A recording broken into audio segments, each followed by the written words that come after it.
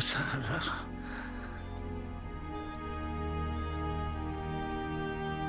미안했다.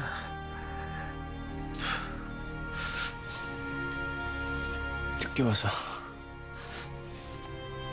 죄송해요. 고맙다. 내 손주로 와줘서. 할아버지. 아버지.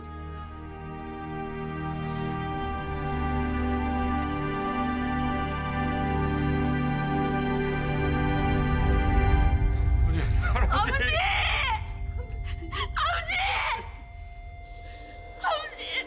아버지.